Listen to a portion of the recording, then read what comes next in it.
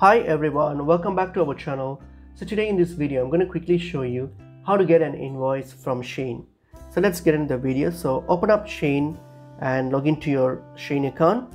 So once you've logged into your Shein account here, so what you're going to do, you're going to go uh, to your Me tab here. So underneath on your bottom right, you'll see Me option. Simply click on it. So when you click on Me option here, so scroll and you will see More Services. Under More Services, there will be an option called support. Click on support.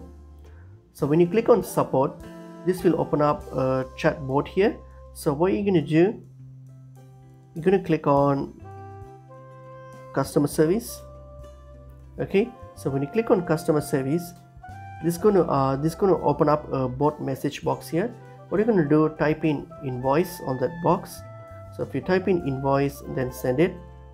And then what it's going to do uh, what it's going to do it's going to put, it's going to list up all the orders that you have made so far.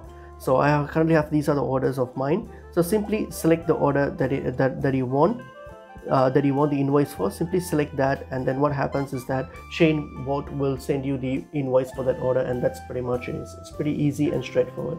Hope this video was helpful. I will see you in another video. Thank you